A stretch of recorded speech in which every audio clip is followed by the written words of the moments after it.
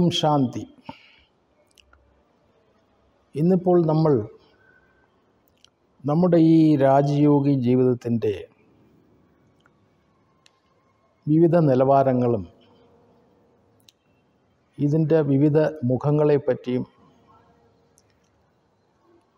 നമ്മൾ നമുക്ക് മനസ്സിലാക്കാൻ ശ്രമിക്കാം. നമുക്കെല്ലാം അറിയാം നമ്മൾ മുഖവംശാവലി സർവോത്തമ ബ്രാഹ്മണ കുൽഭൂഷൺ സുദർശൻ ചക്രധാരികളാണ്. അപ്പോൾ ആ ലെവലിൽ നിന്നുകൊണ്ട് നമ്മൾ നോക്കുകയാണെന്നുണ്ടെങ്കിൽ ബാബ പറയുന്നത് നിങ്ങൾ അലൗകിക് ബ്രാഹ്മണർ ദേവതകളെക്കാളും ശ്രേഷ്ഠരാണ്. ഇതെന്ന് വെച്ചിരുന്നാൽ നമ്മൾ എല്ലാവരും മുഖവംശാവലികളാണ്. ദേവതകൾ സഹിതം അമ്മയുടെ ഗർഭത്തിൽ നിന്ന് ജനിക്കുന്നവരാണ്. അതുകൊണ്ടാണ് ബാബു പറയുന്നത് നിങ്ങൾ ദേവതകളെക്കാളും ശ്രേഷ്ഠരാണ്.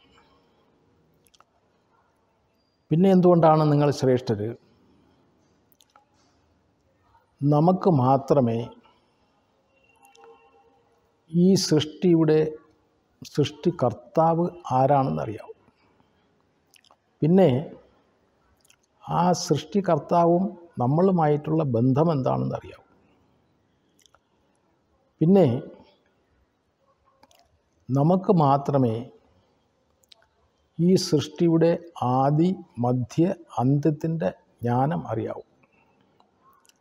നമുക്ക് മാത്രമേ വളരെ ഗുപ്തമായിട്ടുള്ള കർമ്മ ഫിലോസഫി എന്താണെന്ന് നമുക്ക് അറിയാം. പിന്നെ നമുക്ക് മാത്രമേ മൂന്ന് ലോകത്തെ പറ്റി അറിയാം. നമുക്ക് മാത്രമേ ഈശ്വരനും നമ്മളുമായിട്ടുള്ള ബന്ധം എന്താണെന്ന് അറിയാവൂ. നമുക്ക് അറിയാം ഈശ്വരൻ നമ്മുടെ യഥാർത്ഥ അച്ഛനാണ്. കാരണം നമ്മളെല്ലാവരും ആത്മാക്കളാണ്. നമ്മൾ ശരീരമല്ല. ബാബ സ്പഷ്ടപ്പെടുത്തുകയാണ്. നിങ്ങൾ എൺപത്തിനാല് ജന്മം.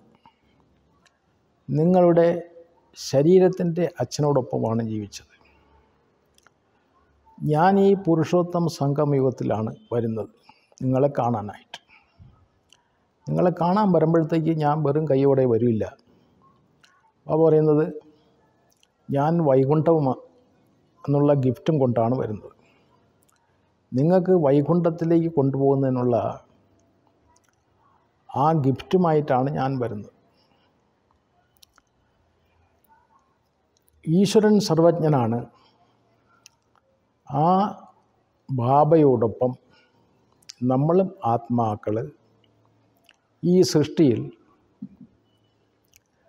ഒരു ധർമ്മം സ്ഥാപിക്കുന്നതിനും ഒരു രാജ്യം സ്ഥാപിക്കുന്നതിനും ഒരു രാജായി സ്ഥാപിക്കുന്നതിനും നമ്മൾ നിമിത്തരാണ്. യഥാർത്ഥത്തിൽ ഈശ്വരന്റെ മദദ്ഗാർ എന്ന് പറയുമ്പോഴത്തേക്ക് കുതായി ഖിദ്മത്ഗാർ നമ്മളാണ്.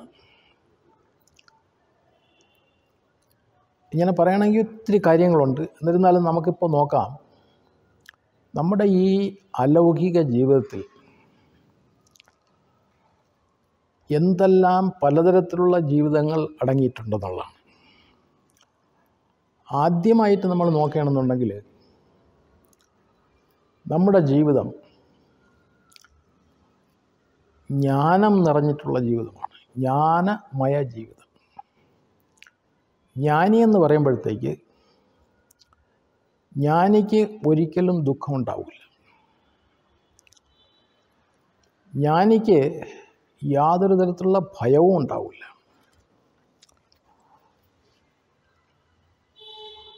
ജ്ഞാനിക്ക്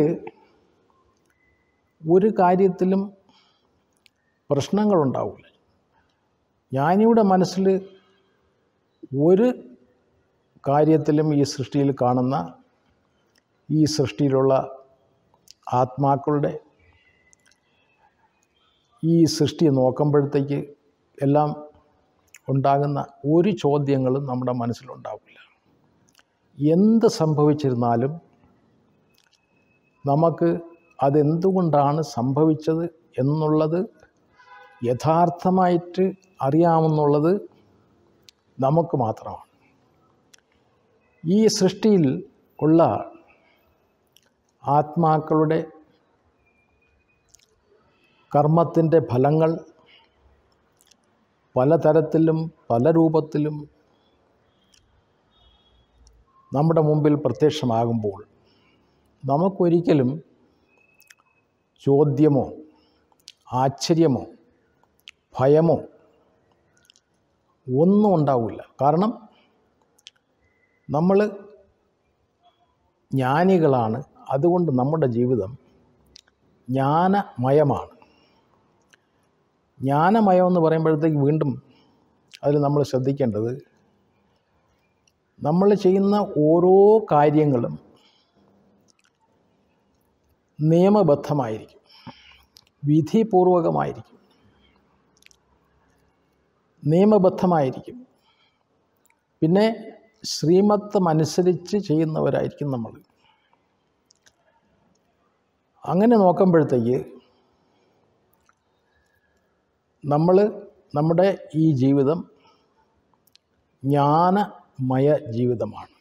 ഇത് നമ്മുടെ സമാനമാണ്. ഞാൻ ബാബ പറയുന്നത് ബച്ചേ തും ബേസമജ് थे മൈ ആക്കർക്ക് തും ബച്ചോങ്കു സമജ്ദാർ ബനാത്ത നിങ്ങൾക്ക് ഒന്നും അറിഞ്ഞൂടെയിരുന്നു കേട്ടോ. ഞാൻ വന്നാണ് നിങ്ങളെ അറിവുള്ളവരായിട്ട് മാറ്റിയത്. രണ്ടാമത്തത് നമ്മുടെ ഈ ജീവിതത്തിന്റെ മറ്റൊരു സമാനം എന്തെന്ന് വെച്ചിരുന്നാൽ ത്യാഗമയ ജീവിതം. ആളുകൾ ത്യാഗമയ ജീവിതം എന്ന് ഈ ആളുകൾ വിചാരിക്കുന്നത് അയ്യോ ത്യാഗികളാണ് കേട്ടോ അവർ എന്ന് വെച്ചാൽ ഇവരെല്ലാം സന്യാസിമാരാണ്.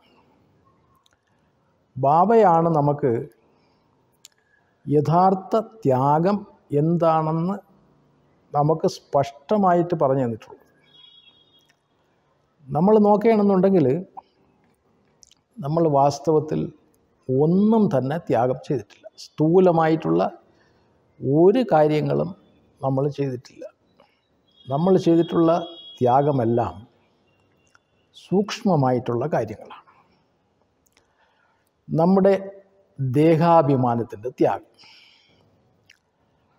ദേഹാഭിമാനത്തിന്റെ ത്യാഗം ചെയ്യുമ്പോഴാണ് ഞാൻ ആത്മാവ് എന്റെ സ്വരൂപത്തിലും സ്വധർമ്മത്തിലും സ്വസ്ഥിതിയിലും എത്തിച്ചേരുന്നത്. ഞാൻ ഈ ശരീരത്തിന്റെ ദേഹ അഭിമാനത്തിലായിരുന്നപ്പോഴത്തേക്ക് ഞാൻ പരിസ് പരിസ്ഥിതിയുടെ പ്രഭാവത്തിലായിരുന്നു. ഓരോ പരിസ്ഥിതിയും വരും. അങ്ങനെ ഞാൻ ആ പരിസ്ഥിതിക്ക് അനുകൂലമായിട്ട് ഞാൻ അങ്ങനെ ഒഴുകിക്കൊണ്ടിരിക്കും. ഞാൻ ഈ ദേഹാഭിമാനത്തിന്റെ ത്യാഗം ചെയ്തപ്പോഴാണ് യഥാർത്ഥത്തിൽ ഞാൻ എന്റെ സ്വസ്ഥിതിയിൽ എത്തിച്ചേർന്നു ബാബ പറയുന്നത് ബച്ചത്തും സ്വസ്ഥിതി മേ രഹെങ്കിൽ തോ പരിസ്ഥിതി നൈ ആസക്ത. നീ സ്വസ്ഥിതിയിൽ സ്ഥിതനാണെന്നുണ്ടെങ്കിൽ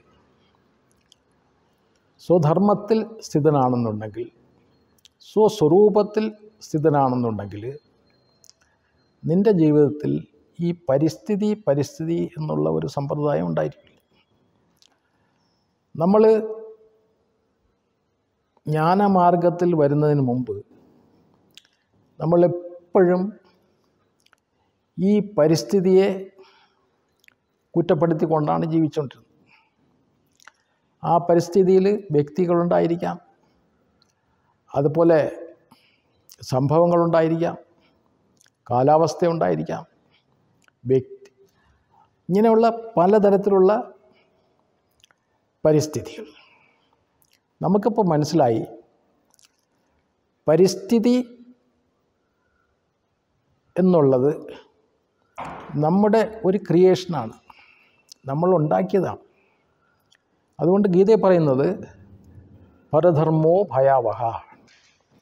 പരിസ്ഥിതിയിലിരിക്കുമ്പോഴത്തേക്ക് സ്വധർ പരധർമ്മത്തിലിരിക്കുമ്പോഴത്തേക്കാണ് നമുക്ക് ഭയമുണ്ടാകുന്നത്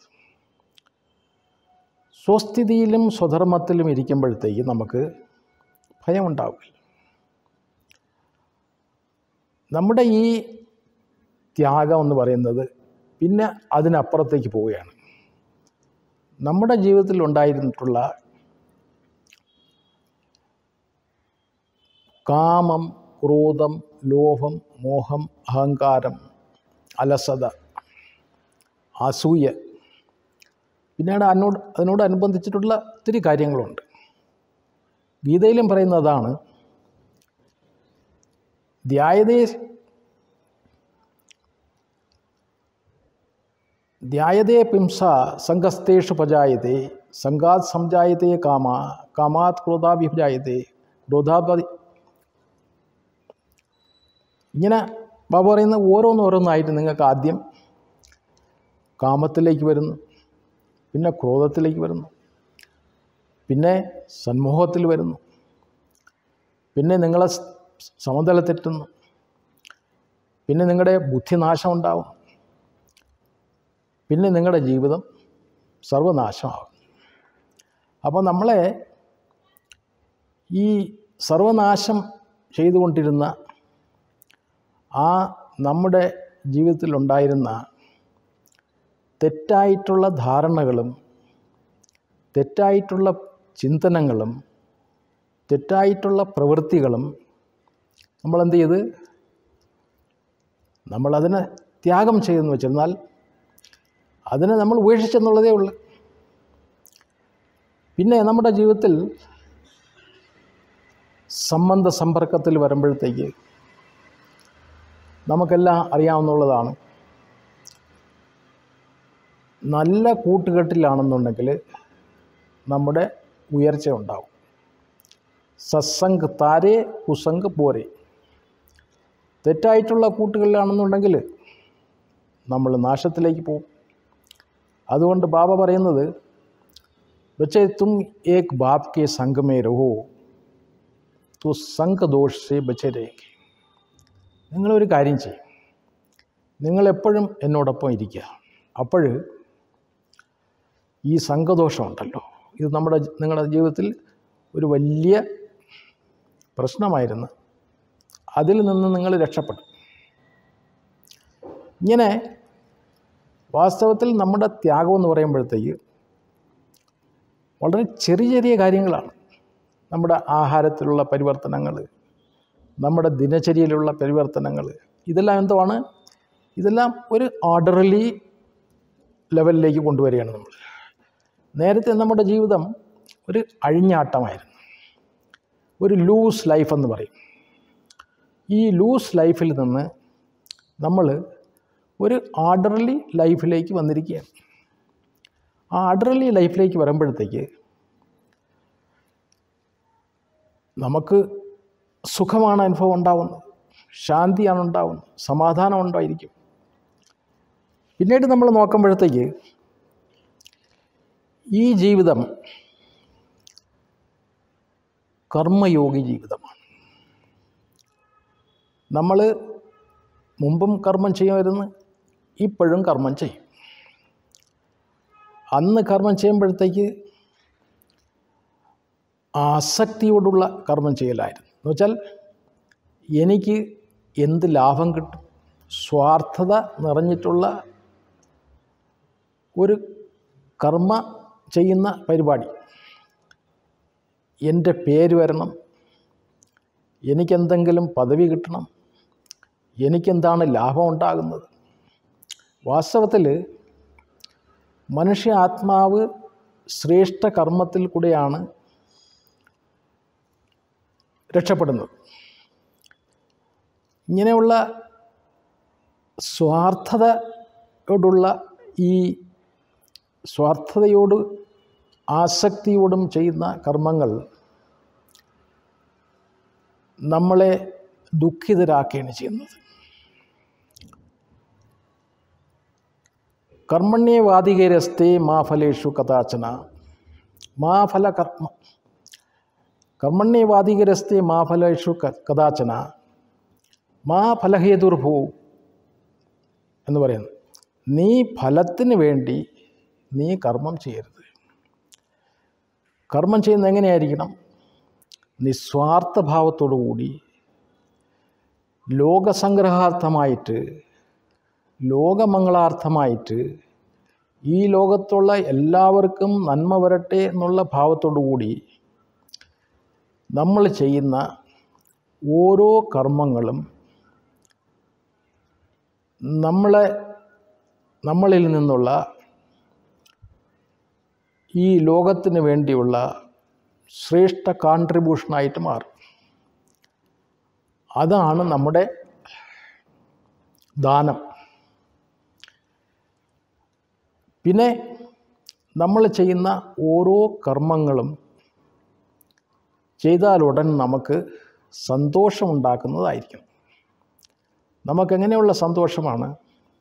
ആ ഞാൻ എന്തെങ്കിലും നല്ല കാര്യം ചെയ്ത് ഈ ലോകത്തിന് വേണ്ടി. ഇതൊരു വലിയ കോൺട്രിബ്യൂഷനാണ് എന്റെ വീട്ടിൽ എന്റെ ജീവിതത്തിൽ നിന്ന്. ഇത് ചെയ്യാൻ എനിക്ക് സാധിച്ചല്ലോ എന്നുള്ളതിലുള്ള സന്തോഷം. പിന്നെ ശ്രേഷ്ഠ കർമ്മം ചെയ്യുമ്പോഴത്തേക്ക് തീർച്ചയായിട്ടും ബാബ പറയുന്നത് നിങ്ങൾക്ക് സന്തുഷ്ടത എന്നുള്ള ഒരു വലിയ ധനം പ്രാപ്തിയാവും ഈ ലോകത്ത് ആർക്കും തന്നെ യഥാർത്ഥ സന്തുഷ്ടത എന്താണെന്ന് അറിഞ്ഞുകൂടാതിരിക്കുന്ന സമയമാണ്. അപ്പം നമുക്കത് പ്രാപ്തമാകുന്നു. പിന്നെ നമ്മൾ ചെയ്യുന്ന ഓരോ കർമ്മത്തിന്റെയും ഫലം ഭാവിയിൽ അതിന്റെ റിട്ടേൺസ് വരാൻ തുടങ്ങും. അങ്ങനെയാണ് നമുക്ക് കർമ്മം ചെയ്യേണ്ടത്. നമ്മൾ ചെയ്യുന്ന കർമ്മം ഒന്നും വിഫലമാ വിഫലമാവില്ല അതെപ്പോഴും സഫലമായിരിക്കും പിന്നെ കർമ്മം ചെയ്യുന്നതിന് വേണ്ടി മാത്രമേ നമുക്ക് അധികാരമുള്ളൂ. അതിന്റെ ഫലത്തിന് നമുക്കൊരു അധികാരവുമില്ല. അതിന്റെ ഫലം നമുക്ക് തന്നെ കിട്ടും മറ്റാർക്കും കിട്ടില്ല നമ്മൾ എന്താണ് ഈ ലോകത്തിന് കൊടുക്കുന്നത്? അത് നമുക്ക് തിരിച്ചു കിട്ടിക്കൊണ്ടിരിക്കും. അതിൽ യാതൊരു സംശയമില്ല അതുകൊണ്ട് നിശ്ചിന്തരായിട്ട് ശ്രേഷ്ഠ കർമ്മം ചെയ്യുന്നതിന് വേണ്ടി നമ്മളെ ബാബ പഠിപ്പിച്ചിട്ടുണ്ട്. അപ്പോൾ അതുകൊണ്ടാണ് നമ്മുടെ ജീവിതം കർമ്മയോഗി ജീവിതം. യോഗ കർമ്മശു കൗശലം. കർമ്മത്തിൽ കുശലത വരുന്നതിന് ഈ യോഗം നമ്മളെ സഹായിക്കും. ആരാണ് യോഗി? ആ യോഗിക്ക് മാത്രമേ ശ്രേഷ്ഠ കർമ്മം ചെയ്യാൻ സാധിക്കൂ. ഇനി ബാബ പറയുന്നത് നമ്മുടെ ജീവിതത്തിൽ നമ്മൾ നോക്കുമ്പോഴത്തേക്ക് നമ്മുടെ ജീവിതം തപസ്യാമയ ജീവിതമാണ്. തപസ് തപസ്സെന്ന് പറയുമ്പോഴത്തേക്ക് ഏതൊരു കാര്യം നമ്മൾ ചെയ്യുന്നു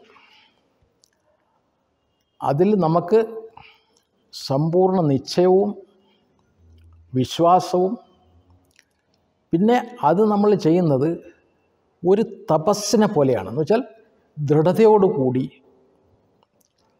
സമർപ്പണ ഭാവത്തോടുകൂടി നമ്മളത് ചെയ്യും. തപസ്. തപസ് എന്ന് വെച്ചാൽ ഏകാഗ്രചിത്തതയോടുകൂടി ഏകാന്താവസ്ഥയിൽ ദൃഢതയോടുകൂടി നമ്മൾ ചെയ്യുന്ന കാര്യമാണ് തപസ്യ. നമ്മുടെ ജീവിതം അതാണ്. നമ്മൾ ചെയ്യുന്ന ഒരു കാര്യവും ഒരിക്കലും ഫെയിലാവില്ല അത് തീർച്ചയായിട്ടും ഈ ലോകത്തെ നന്മയിലേക്ക് കൊണ്ടുപോകുന്നതിന് വേണ്ടിയുള്ള ശക്തി അതിലുണ്ടായിരിക്കും. തപസ്യാമയ ജീവിതം. നമ്മൾ ഏതൊരു കാര്യവും തുടങ്ങുന്നതിന് മുമ്പ് ഇപ്പോൾ വീട്ടിൽ നിന്ന് വെളിയിലിറങ്ങി പോകുമ്പോഴോ ഏതെങ്കിലും കാര്യങ്ങൾ ചെയ്യാൻ തുടങ്ങുന്നതിന് മുമ്പോ ആരോടെങ്കിലും സംസാരിക്കുന്നതിന് മുമ്പോ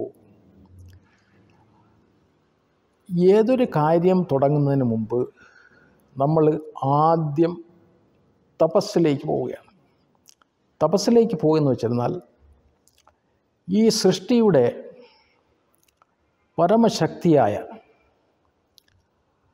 ബാബയെ ആവാഹനം ചെയ്തുകൊണ്ടുള്ള കർമ്മമാണ്.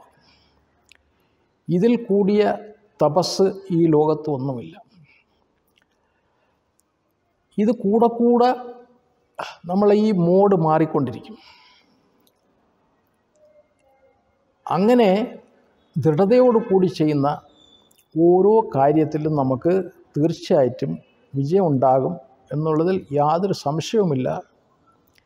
ഇങ്ങനെ നമ്മൾ ചെയ്യുന്നത് കൊണ്ട് ഈ ലോകത്തിൽ ശ്രേഷ്ഠതയുടെയും സമർത്ഥതയുടെയും അതുപോലെ സന്തോഷത്തിന്റെയും സ്ഥിരതയുടെയും വൈബ്രേഷൻസ് നമ്മൾ എപ്പോഴും ഈ സൃഷ്ടിയിൽ പരത്തിക്കൊണ്ടിരിക്കും. ബാബ പറയുന്നത് വെച്ച് തുമാരി വൃത്തി സേ ഈ സൃഷ്ടി കാ വാതാവരൺ പരിവർത്തനം हो रहा है നിങ്ങളുടെ ഈ മാനസിക അവസ്ഥയിൽ നിന്ന് ഈ സൃഷ്ടിയുടെ അന്തരീക്ഷം മാറിക്കൊണ്ടിരിക്കുകയാണ് ഇതിൽ ഇത്രത്തോളം ശക്തിയുണ്ട് ഇനി അടുത്തത് ബാബ പറയുന്നത് നമ്മുടെ ജീവിതം അലൗകിക ജീവിതമാണ്. നമ്മൾ ഈ സൃഷ്ടിയിൽ രണ്ട് ജന്മം എടുത്തു. ഒന്ന് ലൗകിക ജന്മം അടുത്തത് അലൗകിക ജന്മം. അലോകോത്തര ജന്മം എന്നാണ് പറയുന്നത്. ഉപനിഷത്ത് പറയുന്നത് ലോകോത്തര അലോകോത്തര. അലൗകിക ജീവിതമാണ്. അലൗകിക ജീവിതമാകുമ്പോഴത്തേക്ക് നമ്മൾ ഈ ലൗകികതയിൽ കെട്ടിയിട്ടിട്ടുള്ളവരല്ല. അലൗകിക ജീവിതം എന്ന് പറയുമ്പോഴത്തേക്ക് ഈ ജീവിതത്തിന് ഒരു ബൗണ്ടറിയുമില്ല. നമ്മൾ ഏതൊരു കാര്യവും നമ്മൾ ചെയ്യുന്നതിന് മുമ്പ് നമ്മൾ ഈ ലോകത്തുള്ള എല്ലാ ആത്മാക്കളെയും പറ്റി ചിന്തിക്കുകയും ഇവർക്കെല്ലാം നന്മ വരട്ടെ. ഇവർക്കെല്ലാം ശാന്തിയും സുഖവും കിട്ടട്ടെ. എല്ലാ ചരാചരങ്ങൾക്കും സമാധാനവും ശാന്തിയും കിട്ടട്ടെ എന്നുള്ള ഭാവത്തിലുള്ള ഒരു ജീവിതശൈലിയാണ് നമ്മുടെ അങ്ങനെയല്ല നമ്മൾ മാത്രം ജീവിച്ചാൽ മതി. മറ്റുള്ളവരെ പറ്റിയൊക്കെ ആരാണ് വിചാരിക്കാനുള്ളത്? അങ്ങനെയല്ല. കാരണം ഈ സൃഷ്ടി എന്ന് പറയുന്നത് ഇത് ഒരു കളക്റ്റീവ് എന്റർപ്രൈസാണ് ഇവിടെ എന്തെങ്കിലും സംഭവിക്കുന്ന കാര്യം മറ്റൊരു ഭാഗത്ത് ഇതിന്റെ അലകൾ എത്തിച്ചേരും. അതുകൊണ്ട് നമ്മളെല്ലാം യൂണിവേഴ്സൽ ബ്രദർഹുഡ് ഇത് നമ്മുടെ അടിസ്ഥാനപരമായിട്ടുള്ള ധാരണയാണ്. നമ്മളെല്ലാവരും ഒരു കുടുംബത്തിലെ അംഗങ്ങളാണ്. പിന്നെ നമുക്ക് സർവശ്രേഷ്ഠ ബ്രാഹ്മണർക്ക് മറ്റൊരു ചുമതലയുമുണ്ട്. കാരണം ഈ സൃഷ്ടിയിലുള്ള മറ്റുള്ളവരെല്ലാം തന്നെ നമ്മുടെ സന്തതികളാണ്. കാരണം ഈശ്വരൻ സൃഷ്ടിയിൽ വരുന്നു ബ്രഹ്മാവിനെ സൃഷ്ടിക്കുന്നു ബ്രഹ്മാവിന്റെ മുഖത്തിൽ കൂടെ നമ്മളെല്ലാം സൃഷ്ടിക്കുന്നു ആദിസനാഥൻ ദേവീദേവത ധർമ്മം സൃഷ്ടിക്കുന്നു സ്ഥാപിക്കുന്നു ഒരു രാജ്യം സ്ഥാപിക്കുന്നു ഒരു രാജായി സ്ഥാപിക്കുന്നു അത് രണ്ടായിരത്തി അഞ്ഞൂറ് വർഷം കഴിയുമ്പോഴത്തേക്ക് പഴയതാകും അതിനുശേഷമാണ് ഈ ജനസമൂഹം മറ്റുള്ള ഈ ഭൂഖണ്ഡങ്ങളിലേക്ക് വ്യാപിക്കാൻ തുടങ്ങും. അപ്പം അങ്ങനെ വ്യാപിക്കാൻ തുടങ്ങുമ്പോഴത്തേക്ക് ദേവീദേവന്മാർ വാമമാർഗത്തിലേക്ക് പോകുമ്പോഴത്തേക്ക് എന്ന് വെച്ചാൽ വികാരികളാകുമ്പോഴത്തേക്ക് ഈ സൃഷ്ടിയിൽ ഏതുപോലെ കലിയുഗത്തിന്റെ അവസാനം മഹാവിനാശം ഉണ്ടാകുന്നു അതുപോലെ ആ സമയത്തും ഈ സൃഷ്ടിയിൽ വലിയ കോളിളക്കം ഉണ്ടാകും. ആ വലിയ കോളിളക്കം ഉണ്ടാകുമ്പോഴത്തേക്ക് ഭാരതദേശത്തിൽ നിന്ന് ഈ ജനസമൂഹം പല പല ദിക്കിലേക്കായിട്ട് ചെതറാൻ തുടങ്ങും. അങ്ങനെ അവർ അവിടെയെല്ലാം പോയി. താമസിക്കും. ജനവാസം സ്പ്രെഡാവാൻ തുടങ്ങും. ആ സമയത്ത് ആദി സനാതൻ ദേവി ദേവതാ ധർമ്മത്തിലുള്ള ഒരു ആത്മാവ് ഇറാഖ് എന്നുള്ളത് അന്ന് മെസോപ്പട്ടിയമ്മയ എന്നാണ് അറിഞ്ഞപ്പെട്ടി അറിയപ്പെട്ടിരുന്നത്.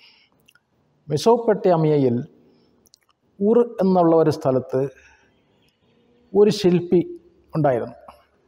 അപ്പോൾ അപ്പോഴത്തേക്ക് ആ ശില്പിയുടെ ജോലി എന്തെന്ന് വെച്ചിരുന്നാൽ ഈ ദേവീ ദേവന്മാരുടെ മൂർത്തികളെ ഉണ്ടാക്കി ആളുകൾക്ക് കൊടുക്കുക അവർ കൊണ്ടുവന്ന് അതിനെ പൂജിക്കാൻ തുടങ്ങുമായിരുന്നു ആ സമയത്താണ് ആ ശില്പിയുടെ മകനായിട്ട് എബ്രാർ. ആ സമയത്ത് എബ്രാർ എന്നാണ് അറിഞ്ഞ് അറിയപ്പെട്ടിരുന്നത്. എബ്രാറിന്റെ മകൻ എബ്രാർ ജനിക്കുന്നു. എബ്രാർ മരി ജനിക്കുന്നു. ജനിച്ചതിന് ശേഷം പിന്നെ എബ്രാർ നോക്കുമ്പോഴത്തേക്ക് അച്ഛൻ ഇങ്ങനെ ഈ മൂർത്തികളെ ഉണ്ടായി കൊടുത്ത് ആളുകളെ കൊണ്ട് പൂജിപ്പിക്കുന്നു എന്ന് പറഞ്ഞ്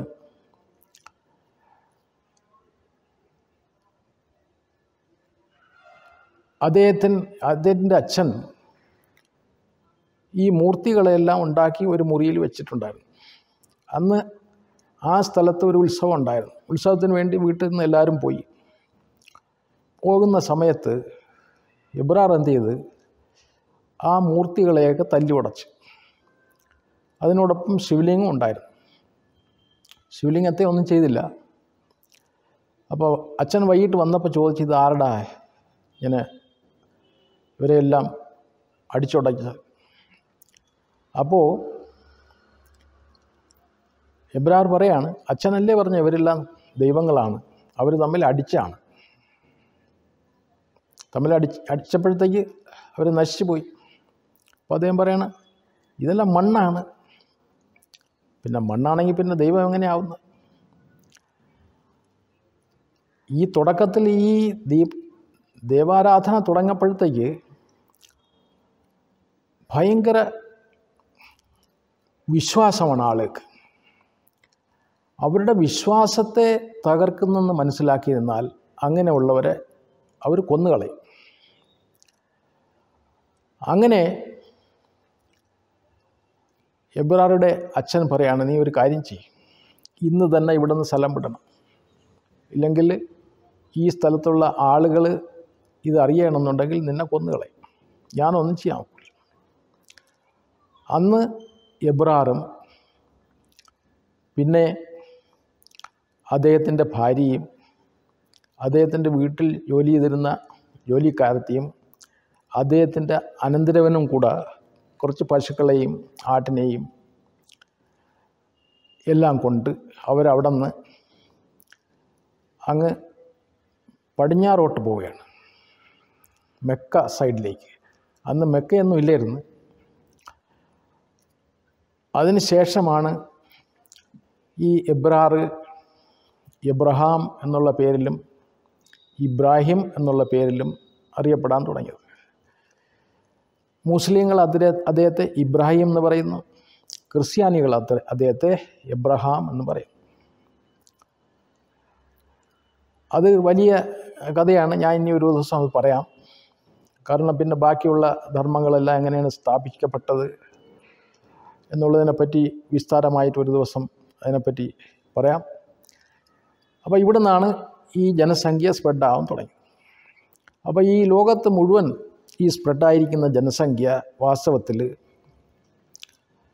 നമ്മുടെ ഭാരതദേശത്തു നിന്നാണ് തുടങ്ങുന്നത് ആദി സനാതൻ ദേവി ദേവത ധർമ്മത്തിൽ നിന്ന് ഉണ്ടായിട്ടുള്ള ഈ സന്തതികളാണ് ഇവരെല്ലാം അതുകൊണ്ടാണ് ബാബു പറയുന്നത് ബച്ചേ ये सब तुम्हारे भाई हैं भाई ब- ये सृष्टि में जितने आत्मा है सब आपस में तुम भाई हो तुम बड़े भाई लोग നിങ്ങളെല്ലാം പൂർവികന്മാരാണ് സൃഷ്ടിയുടെ പൂർവികന്മാർ ബ്രഹ്മാവ് ഗ്രേറ്റ് ഗ്രേറ്റ് ഗ്രാൻഡ് ഫാദർ ബാക്കി ഇങ്ങോട്ടുള്ളവരെല്ലാം പൂർവജ് അതാണ് നമ്മുടെ ഈ സ്ഥിതി നമ്മൾ ആരാണെന്നുള്ള ആ അറിവ് നമുക്ക് കിട്ടണം. അലൗകിക ജീവിതത്തിൽ നിന്നുണ്ടായിട്ടുള്ള ഈ തുടക്കം ഈ ലോകത്ത് ഇങ്ങനെ സ്പ്രെഡായിരിക്കുക ഇനി അടുത്തതെന്ന് വെച്ചിരുന്നാൽ ഈ ജീവിതത്തിന്റെ മറ്റൊരു പ്രത്യേകത ഇത് സമർപ്പണമായ ജീവിതം. നമ്മളെല്ലാം ബാബയ്ക്ക് സമർപ്പണം ചെയ്തിരിക്കുകയാണ്. നമ്മൾ സമർപ്പണം ചെയ്യുന്നതിന് വേണ്ടി നമ്മളെ കയ്യിൽ അത്രയും സമ്പത്തോ അല്ലെങ്കിൽ അത്രയും പണമോ ഒന്നുമില്ല. എന്നിരുന്നാലും നമ്മളെ കയ്യിലുള്ളതെല്ലാം ചെയ്ത്? ബാബയുടെ മുമ്പിൽ നമ്മൾ സമർപ്പണം ചെയ്തു. സമർപ്പണം ചെയ്ത് കഴിഞ്ഞപ്പോഴത്തേക്ക് നമ്മളെ ശരീരസഹിതം തന് മന് ധന് ജന് എല്ലാം നമ്മൾ സമർപ്പണം ചെയ്ത് കഴിഞ്ഞപ്പോഴത്തേക്ക് നമ്മൾ ടോട്ടലി സ്വതന്ത്രരായി.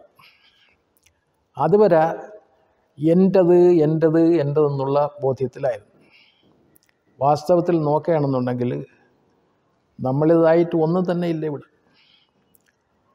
നമ്മൾ പറയുന്നത് ലൗകികത്തിലും വരുമ്പോഴും വെറും കൈയോടെ വരും പോകുമ്പോഴും വെറും കൈയോടെയാണ് പോകുന്നത്. ബാക്കിയുള്ളതെല്ലാം ഈ ഫാരം ചുമപ്പ് എല്ലാം ഇവിടെ വന്നതിന് ശേഷമായിട്ടുള്ള ഈ ഭാരം ചോടാണ് അപ്പോൾ ഇതെല്ലാം ബാബയ്ക്ക് നമ്മൾ സമർപ്പണം ചെയ്തപ്പോഴത്തേക്ക് നമ്മൾ സ്വതന്ത്രരായി.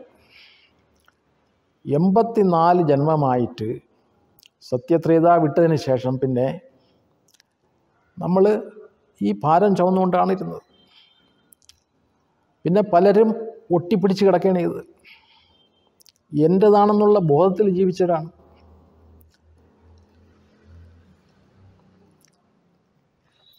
അപ്പോൾ ഈ ജീവിതത്തെ നമ്മൾ സമർപ്പണം ചെയ്യുന്നതിന് വേണ്ടി നമുക്ക് വിഷമതയൊന്നുമില്ലായിരുന്നു. കാരണം എന്താണെന്ന് വെച്ചിരുന്നാൽ നമുക്ക് എന്താണ് കിട്ടിയിരിക്കുന്നത്? സർവശ്രേഷ്ഠ സമ്പത്ത് കിട്ടിയിരിക്കുകയാണ്. അതേന്ദ്രിയ സുഖം കിട്ടിയിരിക്കുകയാണ്. പരമാനന്ദത്തിന്റെ അനുഭവം ഉണ്ടായിരിക്കുകയാണ്. പിന്നെ എന്റെ അസലായിട്ടുള്ള അച്ഛനുമായിട്ട് ഞാൻ ജീവിക്കാൻ തുടങ്ങിയിരിക്കുകയാണ്. എനിക്ക് ഒരു മുഴുവൻ ജന്മം പോലും എന്റെ അസ്ല അച്ഛന്റെ കൂടെ താമസിക്കാനുള്ള സൗകര്യം ഉണ്ടായില്ല. കുറച്ച് സമയമാണ് കിട്ടിയിരിക്കുന്നത്. ആ അസലായിട്ടുള്ള അച്ഛനോടൊപ്പം താമസിക്കുമ്പോഴത്തേക്ക് എൺപത്തിനാല് ജന്മത്തിലേക്ക് വേണ്ടിയുള്ള പ്രാപ്തി എനിക്കുണ്ടാകുകയാണ്. പിന്നെ സത്യത്രേതായുഗത്തിലും എന്താണെന്ന് വെച്ചെന്നാൽ ഞാൻ സ്വയം പൂജ്യനാണ് സർവശ്രേഷ്ഠനാണ് ബാബു പറയുന്നത് ബച്ചേ തുമാര ജീവൻ മാല മാൽ ഹോ ജായെങ്കിൽ നിങ്ങളുടെ ജീവിതം എന്തുവാണ്? അപാര സമ്പത്തും ഐശ്വര്യവും നിറഞ്ഞതായിരിക്കും. പിന്നീട് ബാബ പറയുന്നത് ഈ ജീവൻ സേവാമയ ജീവിതം സേവ ചെയ്യുന്നതിന് വേണ്ടി നമുക്ക് ബാബ തന്നിട്ടുള്ള ഒരു പ്രത്യേക ഒരു ജീവിതം. സേവ ചെയ്യുന്നവരാണ് ഈ ലോകത്ത് ജീവിച്ചിരിക്കുന്നത്. മറ്റുള്ളവരെല്ലാം മരിച്ചു കിടക്കുകയാണ്. സേവ ചെയ്യുന്നു വെച്ചാൽ മറ്റുള്ളവർ ചെയ്യുന്ന കണക്കുള്ള സേവയല്ല നമ്മൾ ചെയ്യുന്നത്. ഈശ്വരനുമായിട്ടുള്ള ബന്ധം സ്ഥാപിക്കുന്നതിന് വേണ്ടിയുള്ള നമ്പർ വൺ സേവ. സൃഷ്ടിയുടെ ആദി മധ്യ അന്ത്യത്തെപ്പറ്റിയുള്ള അറിവ് കൊടുക്കുന്ന സേവ. ജീവിതം എന്താണെന്നും എവിടെ നിന്നാണ് തുടങ്ങുന്നതെന്നും എങ്ങനെയാണ് ജീവിതത്തിൽ പരിവർത്തനങ്ങൾ ഉണ്ടാവുന്നെന്നും എന്നുള്ള അറിവിന്റെ കൊടുക്കുന്ന സേവ. പിന്നെ യഥാർത്ഥ അറിവെന്തോണ് ആ അറിവ് സമ്പാദിച്ചിരുന്നാൽ നമ്മുടെ ജീവിതത്തിൽ എന്തെല്ലാം മാറ്റങ്ങളുണ്ടാവും? അപ്പോൾ ഈ ഒരു സേവ ചെയ്യുന്ന ഈ പ്രക്രിയയിൽ ഈ ലോകത്തുള്ള എല്ലാ ആത്മാക്കളെയും സമ്പന്നരും സന്തോഷമുള്ളവരും ധൈര്യശാലികളും ആക്കുന്നതിന് വേണ്ടിയുള്ള ഒരു സേവയാണ്. ബാബു പറയുന്നത് ദൂസറോങ്കോ സുഖ് ദേന ഈ ബച്ചെ ബഹുത് ബഡി സേവ. ആർക്കെങ്കിലും സുഖം കൊടുക്കുന്നത് ഒരു വലിയൊരു സേവയാണ്. സമാധാനം കൊടുക്കുന്ന വലിയൊരു സേവയാണ്. ശാന്തി കൊടുക്കുന്ന ഒരു വലിയ സേവയാണ്. സന്തോഷം കൊടുക്കുന്ന ഒരു വലിയ സേവയാണ്. ഈ സേവ ബച്ചെ തുമാരെ ശിവായെ കോയി ബി നൈ കർ സക്ത ബാബ പറയുന്നത് ഈ സേവയുണ്ടല്ലോ. നിങ്ങളെ കൊണ്ടല്ലാതെ മറ്റാരെ കൊണ്ടും ഈ സേവ ചെയ്യാൻ സാധിക്കില്ല. സേവ ചെയ്യുമ്പോഴത്തേക്ക് ഇതിന്റെ ഫലം എന്താണെന്ന് പറയുന്നു ബാബ. പക്ഷേ തുമക്കു ദദീച്ചി ഋഷി സമാൻ സേവാക്കർണായ അതിൻ്റെ ഫലമെന്തുവാണ് അടുത്ത ജന്മത്തിൽ നിരോഗി കായ अखंड संपत बहुत अच्छा संबंध തൻ മൻ ധൻ ജൻ എല്ലാം നിങ്ങൾക്ക് കിട്ടുന്ന ഐശ്വര്യങ്ങളാണ് നിങ്ങൾ ചെയ്യുന്ന സേവ കൊണ്ട് കിട്ടുന്നത് സേവാസെ മേവാ ഖായങ്കി നിങ്ങൾ യഥാർത്ഥ സേവ ചെയ്യുമ്പോഴത്തേക്ക് ആ സേവ ചെയ്താൽ ഉടൻ സന്തോഷത്തിന്റെ അനുഭവം. പിന്നെ സേവ ചെയ്യുന്നവർ ഒരിക്കലും രോഗികളാകുന്നില്ല. കാരണം അവരുടെ ശരീരവും മനസ്സും ബുദ്ധിയും ഭാവനകളും അവരുടെ സംബന്ധ സമ്പർക്കങ്ങൾ ഇതെല്ലാം തന്നെ പർപ്പസ്ഫുള്ളി ഇൻവെസ്റ്റ്മെന്റ് ആയിക്കൊണ്ടിരിക്കുകയാണ്. അവരുടെ ഒരു സെക്കൻഡ് സമയം പോലും വ്യർത്ഥമാകില്ല അവരുടെ ഒരു സങ്കല്പം വ്യർത്ഥമാകില്ല അവരുടെ ഒരു കർമ്മവും വ്യർത്ഥമാകില്ല എല്ലാം സഫലമായിക്കൊണ്ടിരിക്കുന്നതാണ്. അതുകൊണ്ട് നമ്മളെല്ലാവരും സേവാമയ ജീവിതം പ്രാപ്തമാക്കിയിട്ടുള്ളവരാണ്. ഒരിക്കലും സേവ ചെയ്യരുത് ചെയ്യുകയില്ല എന്ന് പറയാൻ പാടില്ല. കാരണം ഇപ്പോഴാണ് എനിക്കിതെല്ലാം സമ്പാദിക്കാനുള്ള സമയം. ഈ സമയത്ത് ഞാനിത് ചെയ്തില്ലെന്നുണ്ടെങ്കിൽ കൽപ്പകൽപ്പാന്തരം എനിക്ക് ഈ സമ്പാദ്യം ഉണ്ടാക്കാൻ സാധിക്കുകയില്ല. ഈ ലോകത്തുള്ള വലിയ വലിയ ആൾക്കാരെല്ലാം സേവ ചെയ്തതിന്റെ ഫലമായിട്ടാണ് പ്രഖ്യാതന്മാരായിട്ടുള്ളത്. അറിയപ്പെടുന്നവരായിട്ടുള്ളത്. അതുപോലെ നമ്മളും ഈ ലോകത്തിന്റെ സേവ ചെയ്ത് ചെയ്ത് ഈ ലോകത്ത് ശാന്തിയും സന്തോഷവും സമാധാനവും സഹോദരത്വവും സ്ഥാപിക്കുന്നതിന് വേണ്ടി ജീവിതം സമർപ്പണം ചെയ്ത്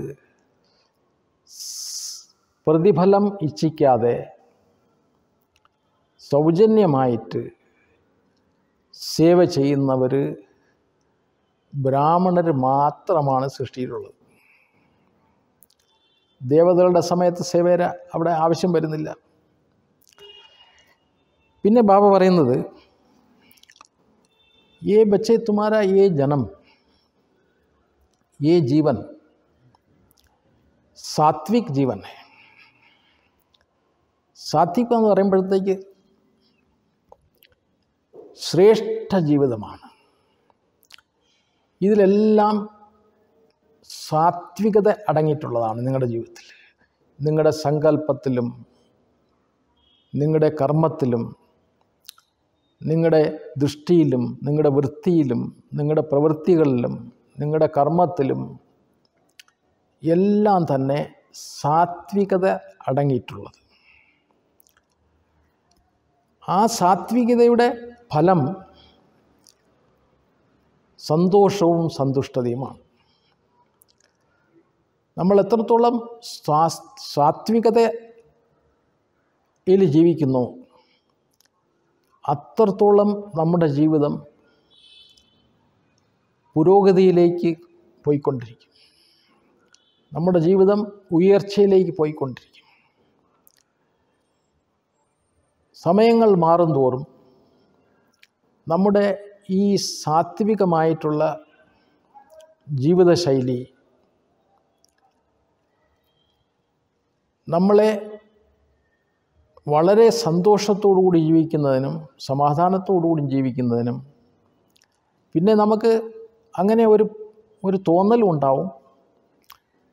നമ്മുടെ ജീവിതം എന്തായിരുന്നാലും ഒരു വലിയ വിജയമാണ് എന്ന് നമുക്ക് മനസ്സിലാവും. അപ്പോൾ തന്നെ ബാബ പറയുന്ന വഴിയിൽ നമ്മൾ ഒരുപക്ഷേ നമ്മുടെ ജീവിതത്തെ ഒരുക്കിക്കൊണ്ട് മുന്നേറുകയാണെന്നുണ്ടെങ്കിൽ നമുക്കെല്ലാം അറിയാവുന്നുള്ളതാണ് നമ്മൾ എവിടെ എത്തിച്ചേരുമെന്നുള്ളത്. സർവഗുണ സമ്പന്നരും സമ്പൂർണ നിർവികാരികളും മര്യാദ പുരുഷോത്തമരും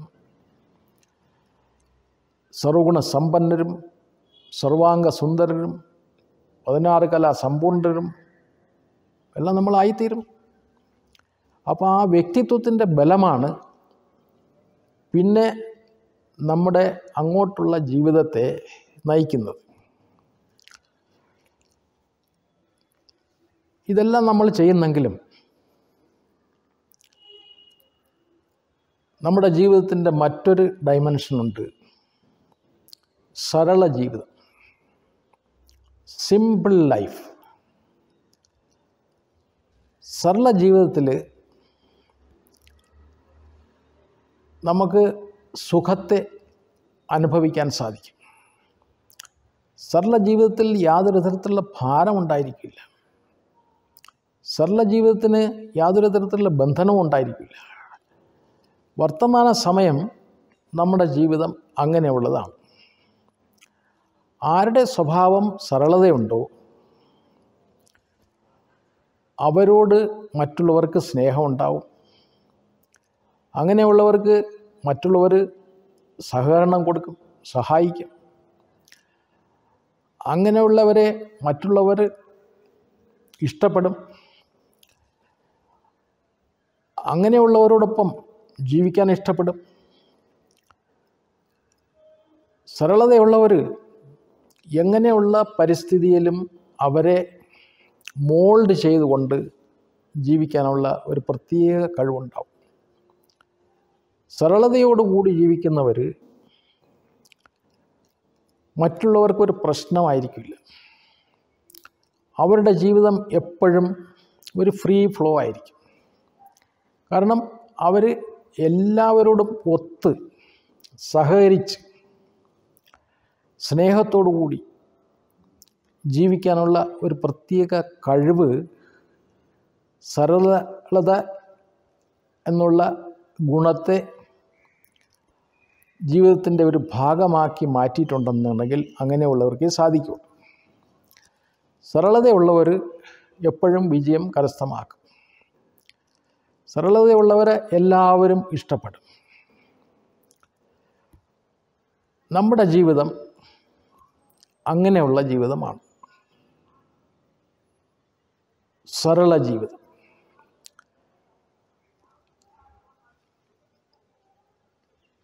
നമ്മുടെ ജീവിതത്തിൽ യാതൊരു തരത്തിലുള്ള കണ്ടീഷൻ സപ്ലൈ ഇല്ല. നമ്മൾ ചിലരോട് സ്ട്രിക്റ്റ് ആയിരിക്കും മറ്റുള്ളവരോട് സരളമായിരിക്കും അങ്ങനെയുമില്ല സരള ജീവിതം നയിക്കുന്നവർക്ക് അറിയാം അവർ എല്ലാവരോടൊത്തും ജീവിക്കുകയും ചെയ്യും. പിന്നെ അവർ ന്യാര അവർ പ്യാര. എല്ലാവരോടൊത്തും വളരെ സ്നേഹത്തോടു കൂടി അടുക്കുകയും ചെയ്യും. എന്നാൽ സമയം വരുമ്പോഴത്തേക്ക് അവർ അവരെ ആവശ്യമനുസരിച്ച് ഡിറ്റാച്ച് ചെയ്യാൻ ഉള്ള കഴിവുണ്ടാവും. മാറ്റി നിർത്താനുള്ള കഴിവുണ്ടാവും. അടുത്തതായിട്ട് നമ്മൾ നമ്മുടെ ജീവിതത്തിലേക്ക് നോക്കുമ്പോഴത്തേക്ക് ഈ സൃഷ്ടിയിൽ ആർക്കെങ്കിലും സുഖമുണ്ടെങ്കിൽ ഈ അലൗകിക ബ്രാഹ്മണ കുൽഭൂഷണർക്ക് മാത്രമാണുള്ളത്. യഥാർത്ഥ സുഖം. ശാരീരിക സുഖമുണ്ട് മാനസിക സുഖമുണ്ട് പിന്നെ ഭാവനാത്മക സുഖമുണ്ട് പരസ്പര സമ്മതത്തിന്റെ സുഖമുണ്ട് സുഖമയ ജീവിതം നയിക്കുന്നവർ ആരെങ്കിലും ഈ സൃഷ്ടിയിലുണ്ടെങ്കിൽ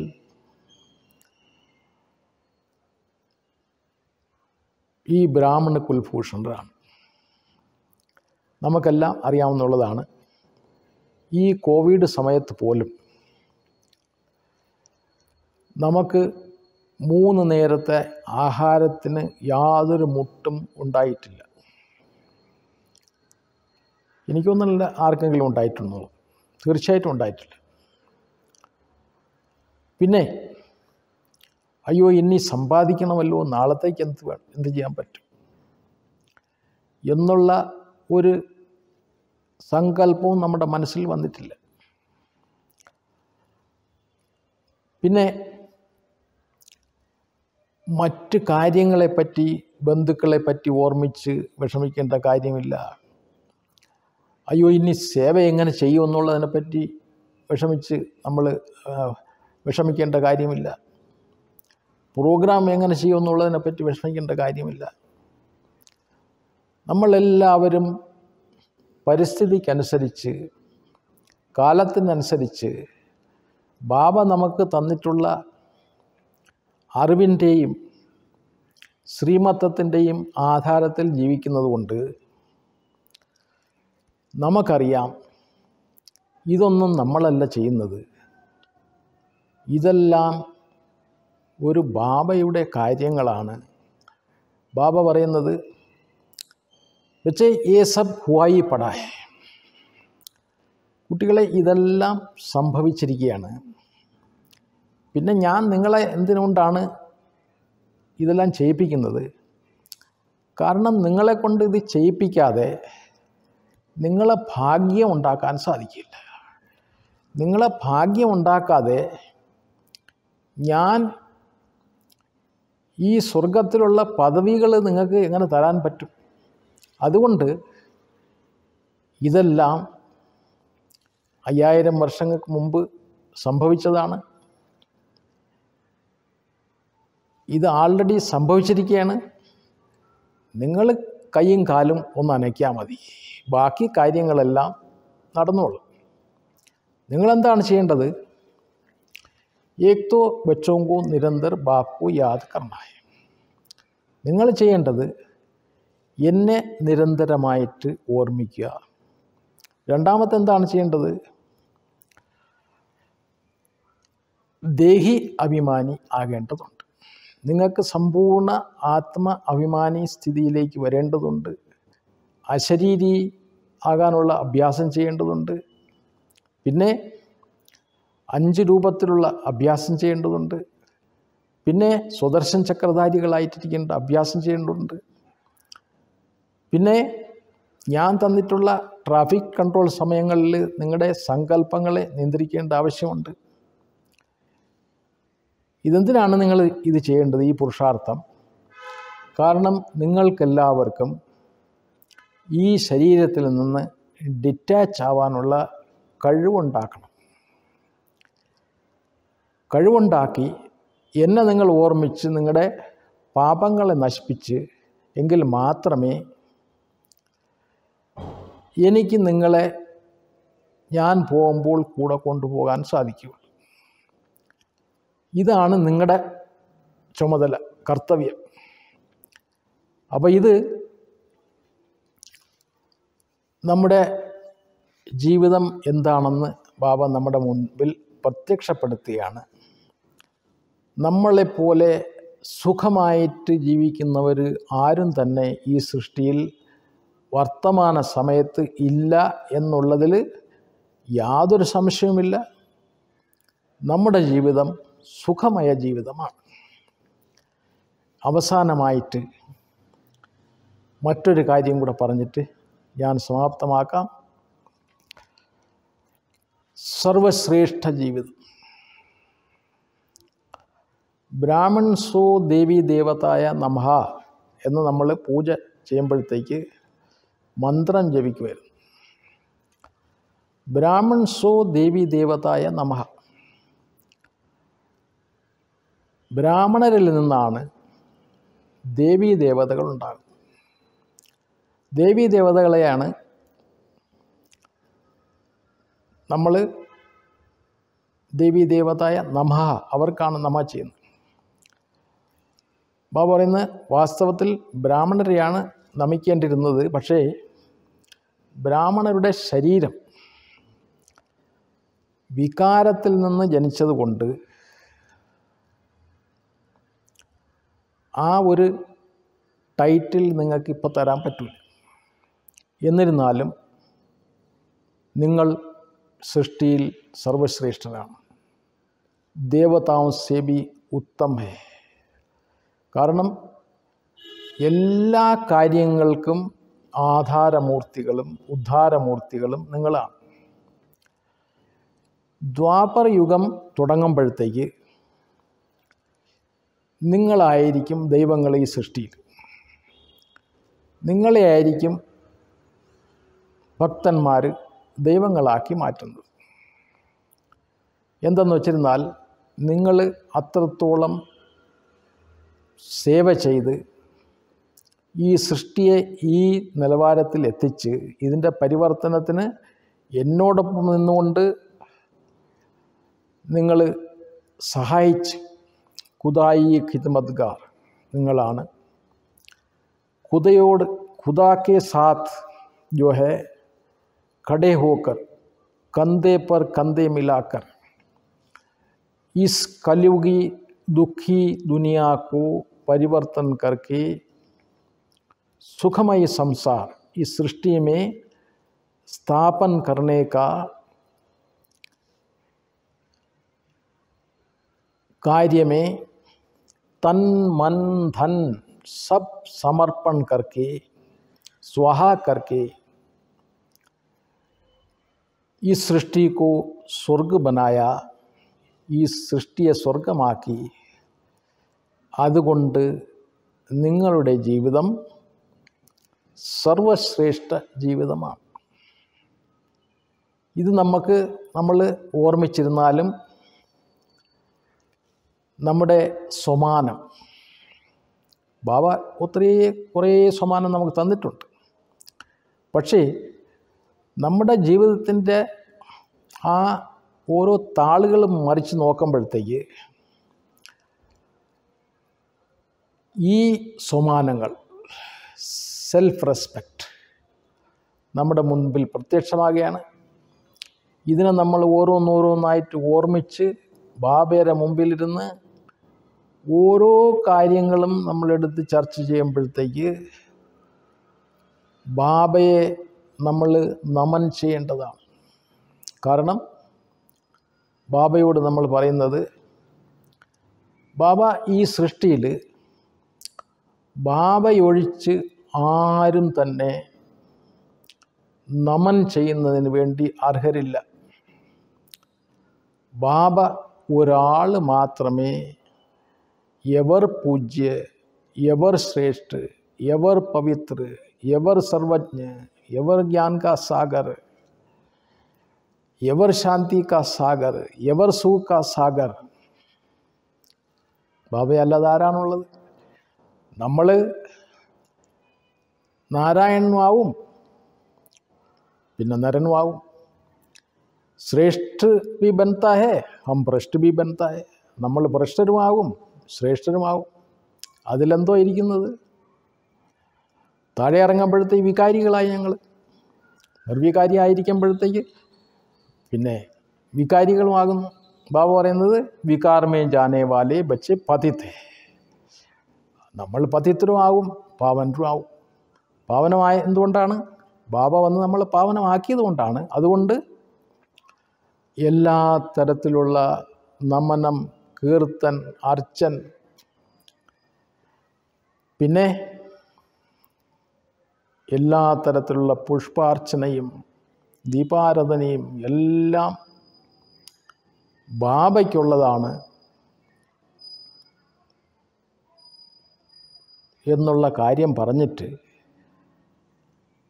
ബാബ നമ്മളോട് ചെയ്തിട്ടുള്ള ആ സേവ ബാബയുടെ ആ സ്നേഹം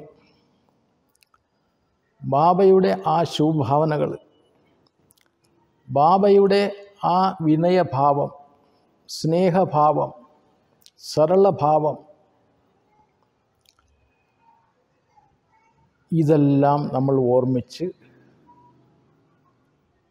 മണിക്കൂറോളം ബാബയുടെ മുമ്പിലിരുന്ന് നമുക്ക് ബാബയെ ോട് വാർത്താലാപം ചെയ്യാൻ സാധിക്കും. അച്ഛ എല്ലാവർക്കും വളരെ നന്ദി. ഓം ശാന്തി.